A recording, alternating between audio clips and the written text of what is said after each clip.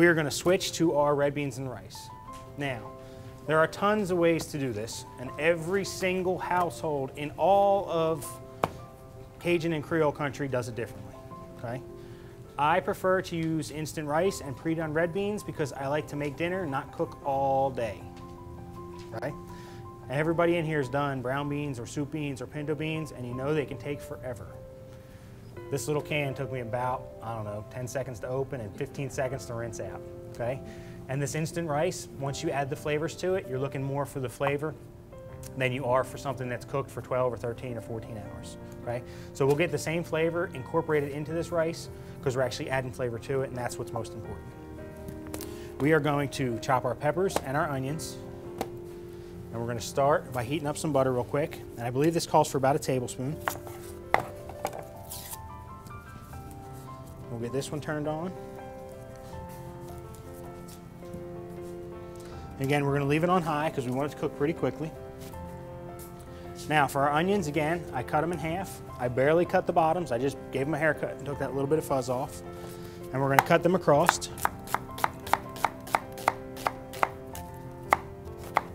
And then we'll cut them back. And we're just gonna set them off to the side because we want our butter to get hot and our pan to get hot before we add them.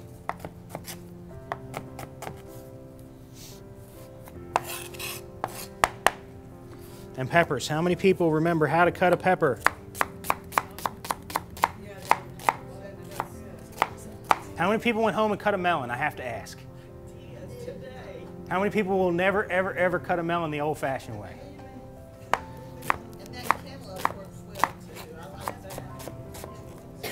We, we did fruit salad last week for those of you who weren't here. And I showed them a slightly different way to cut melons.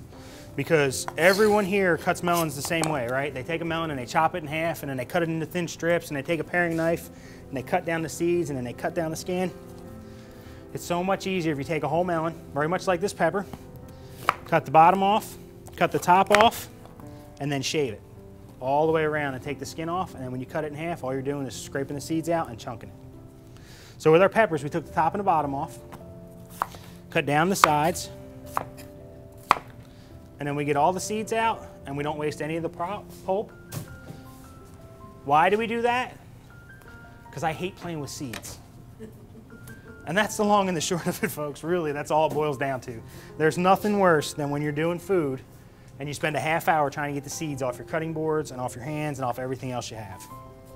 That, and I don't like to cut through a pepper and then put my knife down and have to rip the center apart and then pick it back up, and it just kind of saves you a step. We'll take all these little pieces, we'll get them all chopped up real quick. And again, it doesn't have to be perfectly uniform. If you want to make them perfectly uniform, well, if anyone comes to your house and they tell you that your peppers aren't uniform, hand them a knife. Invite them two hours early and show them where the kitchen is. By the time this starts to saute and it starts to cook down and we add the beans and the rice and everything else to it, it's not really going to be that noticeable. So we'll get these chopped. That butter's about close. We all know how temperamental this stove is. Keith, that's something you need to remember. This stove is so temperamental. One week it gets hot in three seconds. The next week it gets hot tomorrow. And the oven tends to be the same way. We found that out the hard way, didn't we, folks? So if you're going to use the oven, I turn it on about 2 o'clock. Sunday.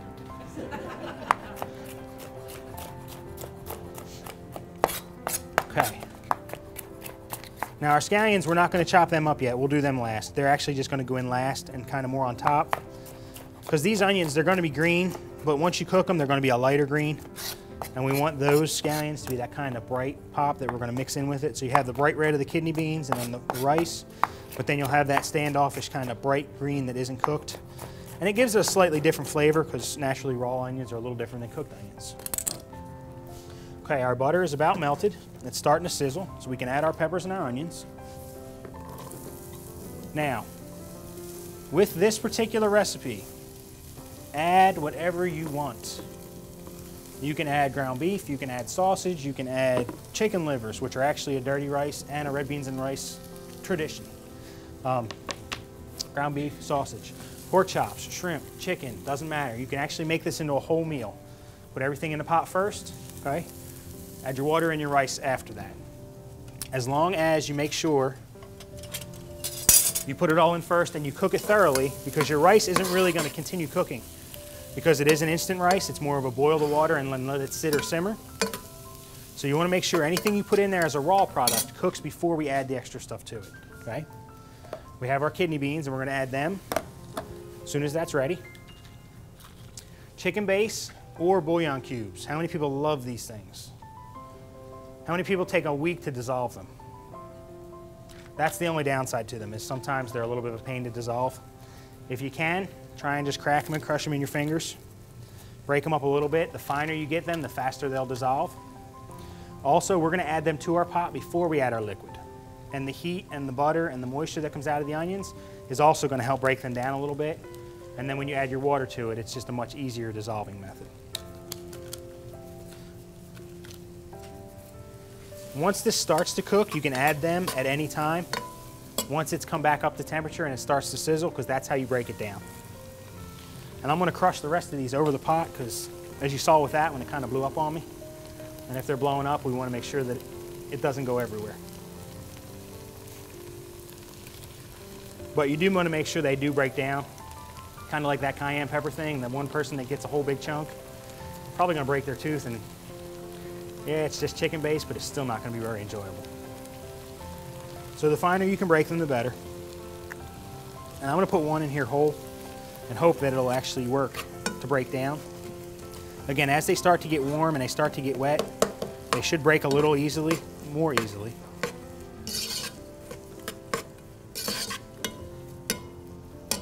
And they're already starting to knock down a little bit.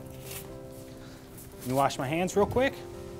Okay, as this is starting to heat up, I don't know if you can see that on camera, but I'm basically just taking the spoon and kind of smacking down on them, and they're starting to crush into almost powder instantly, okay?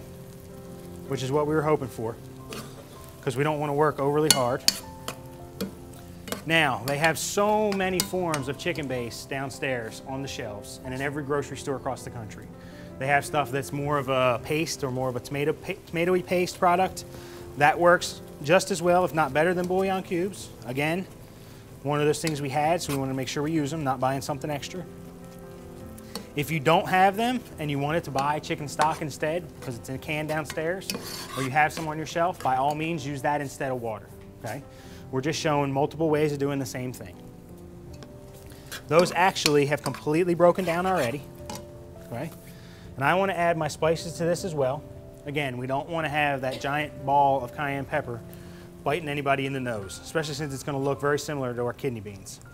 So I'm going to add those in and our salt and pepper. We're going to stir that real quick just to kind of break it down. And I don't know if you can see on the overhead, but the part that I've stirred versus the part I haven't, it changes the color of it dramatically. And that's what's going to help flavor our rice when we do it. Okay, kidney beans, we opened the cans, we rinsed them, we washed them, we drained them, we put them back in the can, and now we're gonna add them to it.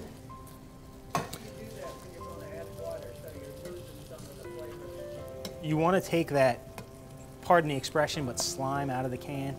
Um, that's starch and it will help you thicken it, but when you're adding it to rice, do you really wanna extra thicken it? Um, the flavor that you're looking for here and the reason that you add everything into your pot before you add your water is now that that flavor from the cayenne and the cumin and the salt and pepper is now going into those beans. And if you have all that extra um, starch and slime on the outside of it, it has to work off the beans before it then goes into them, okay? So I like to clean them, rinse them first. That and I just really don't like it, to be perfectly honest with you. As your beans get hot, they'll start to split a little bit, and that's how you know you can add your water to them. I measured out six cups of water because we're gonna do three cups of rice. Now rice is always two to one, okay? If you use one cup of rice, it's two cups of water. Whether it's regular, instant, brown rice, long rice, that's a good basic starting point. You may need to add a little bit more water as you're cooking it or a little bit less once you go through. If you're doing risotto, you have to add it three or four or five times through the cooking process. We're gonna cut that one down a little bit. Okay. But overall, two to one is what you're looking for for your rice, okay? Now, the last thing I want to do with this recipe before we move on is I want to get our scallions ready. And then we're going to switch to our beignets. Has anybody ever had beignets before? They are a really fancy French word for donut. Pretty much that's what they are. They actually make their dough a little thicker and then they cut it and then they deep fry it that way. This is more of a batter. Um, it's very similar to the consistency of funnel cake and we're actually going to drop it into the fryer using spoons. Um, but it's very, very close consistency. And then we're going to top it with powdered sugar because, well, every dessert needs powdered sugar, right? This burner decided to work today, so we're going to cut it down a little more. Telling you, these burners are possessed. They just don't like me. Our green onions. With your green onions, leave the bottom band on. If not, you spend all day chasing green onions around the cutting board. You want to open them up though, and anything you see that's starting to wilt, you want to pull down and out. And get rid of. Same thing on this one.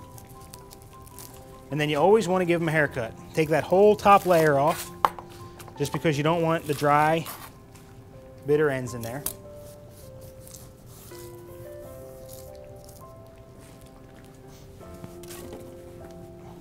Really? This burner just doesn't want to cool down today. I guess that's a good problem. All right, with these, remember I said leave the band on there. If you leave the band on there, it does most of the work for you when you go to cut them. You're not chasing them all over. Now, these are going to be raw in your product. So, you don't want a big one because nobody likes to bite down on an onion that big. You want to try and keep them about three pennies thick. Everybody picture that? Any thicker than that, it's going to be a little bit strong. And because we're going to add these raw and they're just going to kind of warm up from the rice, much bigger than that will be too strong. Now, I am stopping above the white because the white is going to be slightly too strong for this. We don't want that overly intense flavor from the onion. We just kind of want the more subtle flavor.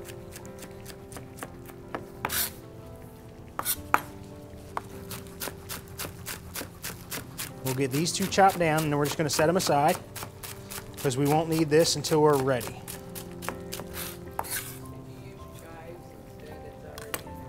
You could use chives and it's predominantly for color in this. Again, I don't like recipes that say you have to do anything.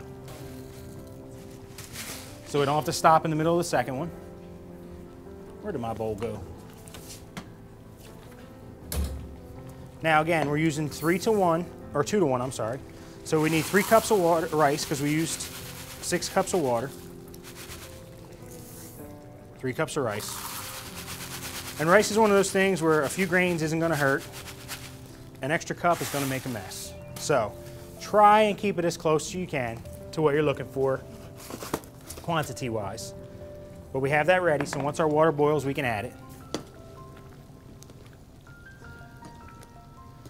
And I don't know, that is just Food Club, Food City, instant white rice, okay? And I'll leave the box up here so you can see. Um, again, we're trying to make this so that you can make dinner quickly and make dinner in a reasonable time and not spend 40 days in the kitchen.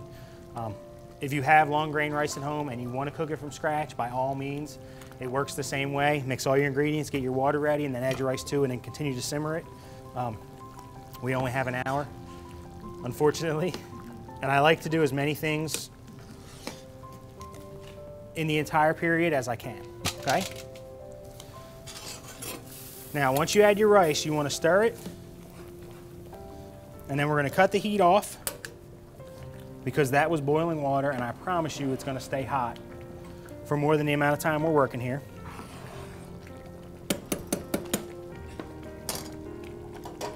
And we're going to cover it back up so we can hold all that steam and that moisture in there. Now I'm gonna take half my green onions, a little more than half. I wanna drop them in here. And I did turn this off already, so we're not really cooking them. And we're just gonna kind of stir that in real quick, and it'll give it that bright green. And then the rest we're just gonna sprinkle on top. Okay, now, if I did this right,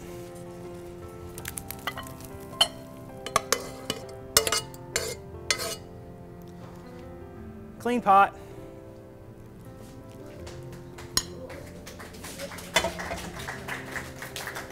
Our mac and cheese actually was so cheesy that that pot came out cleaner than that. If you can imagine that. Now, the rest of our green onions, we're just gonna sprinkle on top because I like that really bright look. And we'll get rid of these.